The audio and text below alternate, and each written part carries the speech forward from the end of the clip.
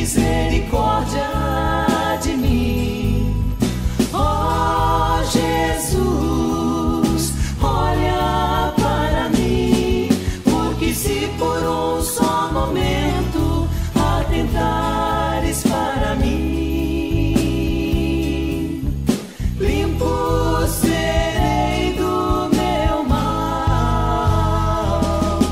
E Jesus então disse: Vê, e logo o cego viu, e o seguindo com a multidão dava louvores a Deus. E por onde Jesus passava, sempre havia